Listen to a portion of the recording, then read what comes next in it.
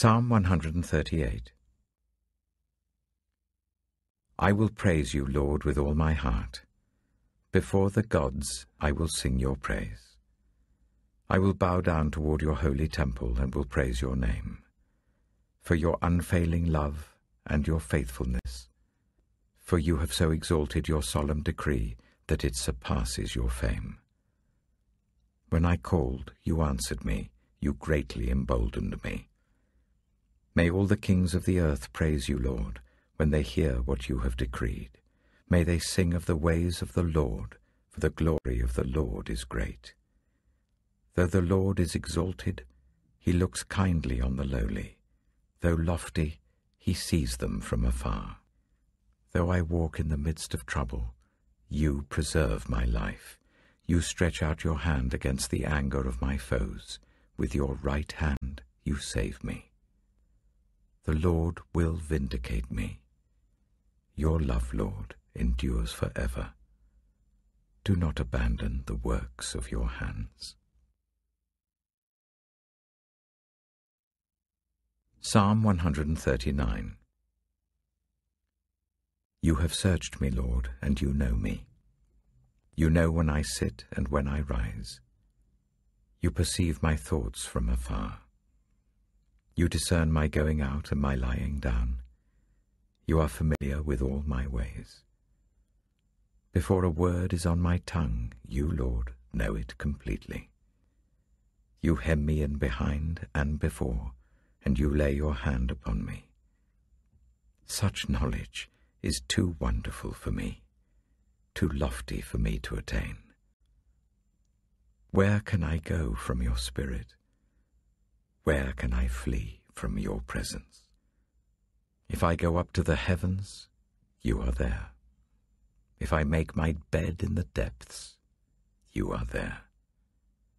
If I rise on the wings of the dawn, if I settle on the far side of the sea, even there your hand will guide me, your right hand will hold me fast.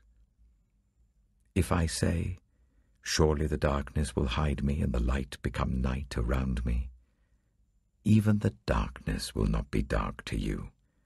The night will shine like the day, for darkness is as light to you. For you created my inmost being, you knit me together in my mother's womb. I praise you because I am fearfully and wonderfully made. Your works are wonderful. I know that full well. My frame was not hidden from you when I was made in the secret place, when I was woven together in the depths of the earth. Your eyes saw my unformed body.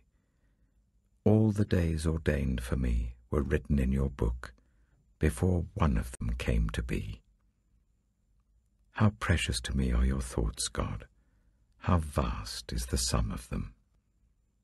Were I to count them, they would outnumber the grains of sand.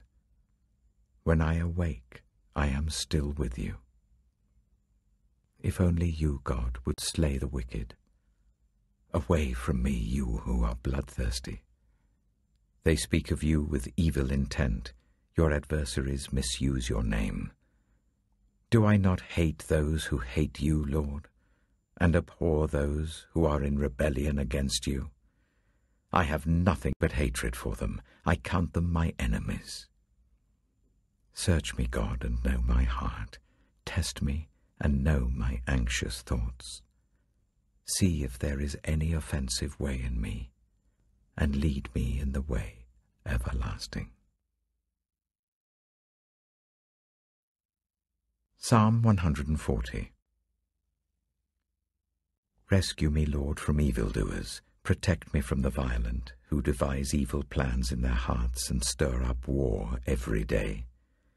They make their tongues as sharp as a serpent's, the poison of vipers is on their lips. Keep me safe, Lord, from the hands of the wicked.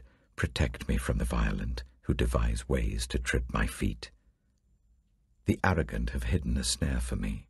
They have spread out the cords of their net, and have set traps for me along my path. I say to the Lord, You are my God. Hear, Lord, my cry for mercy. Sovereign Lord, my strong deliverer, you shield my head in the day of battle. Do not grant the wicked their desires, Lord. Do not let their plans succeed. Those who surround me proudly rear their heads. May the mischief of their lips engulf them. May burning coals fall on them. May they be thrown into the fire, into miry pits, never to rise. May slanderers not be established in the land. May disaster hunt down the violent. I know that the Lord secures justice for the poor and upholds the cause of the needy. Surely the righteous will praise your name, and the upright will live in your presence. Ephesians chapter 5 Follow God's example, therefore, as dearly loved children, and live a life of love, just as Christ loved us and gave himself up for us as a fragrant offering and sacrifice to God. But among you there must not be even a hint of sexual immorality, or of any kind of impurity or of greed, because these are improper for God's holy people. Nor should there be obscenity, foolish talk, or coarse joking, which are out of place, but rather thanksgiving. For of this you can be sure. No immoral, impure, or greedy person, for such a person is an idolater, has any inheritance in the kingdom of Christ and of God.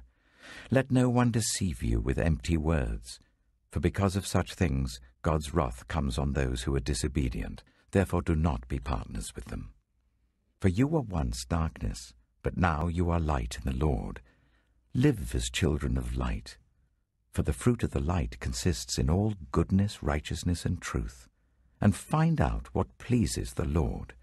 Have nothing to do with the fruitless deeds of darkness, but rather expose them. It is shameful even to mention what the disobedient do in secret, but everything exposed by the light becomes visible, and everything that is illuminated becomes a light.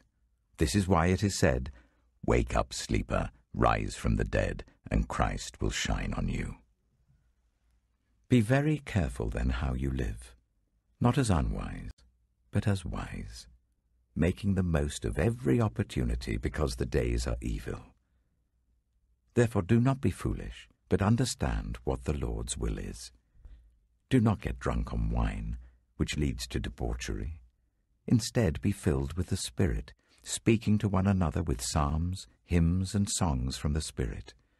Sing and make music from your heart to the Lord, always giving thanks to God the Father for everything, in the name of our Lord Jesus Christ. Submit to one another out of reverence for Christ. Wives, submit yourselves to your own husbands as you do to the Lord.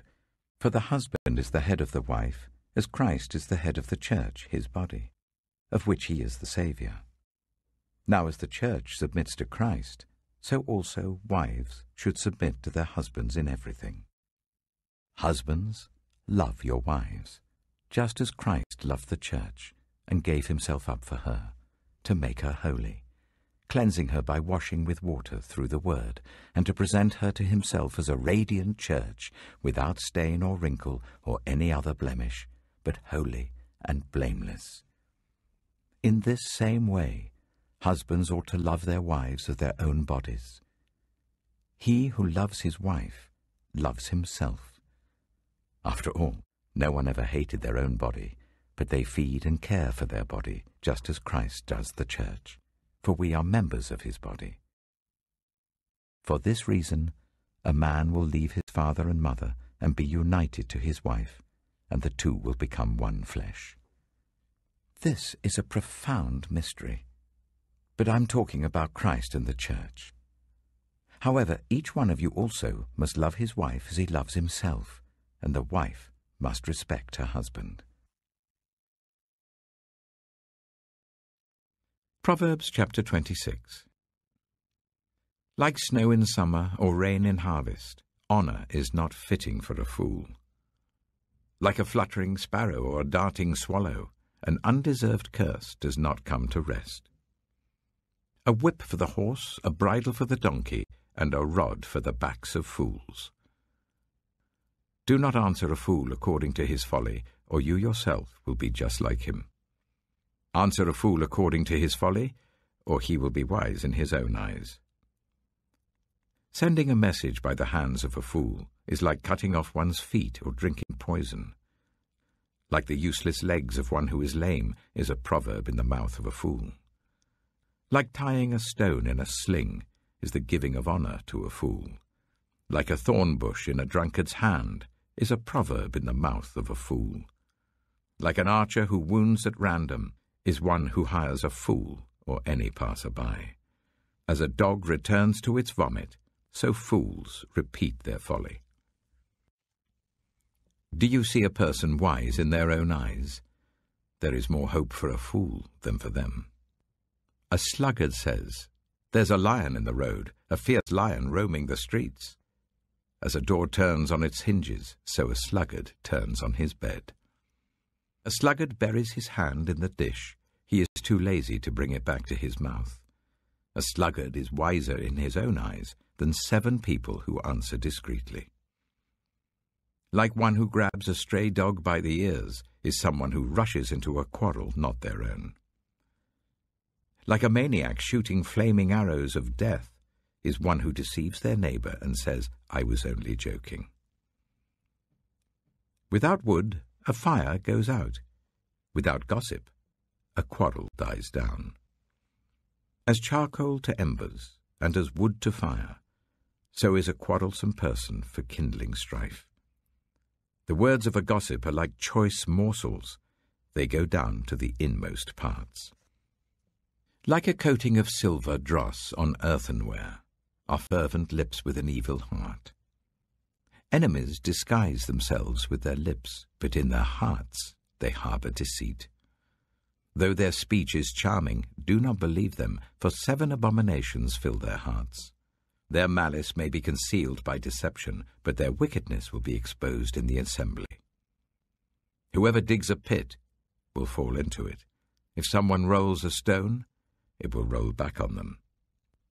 A lying tongue hates those it hurts, and a flattering mouth works ruin.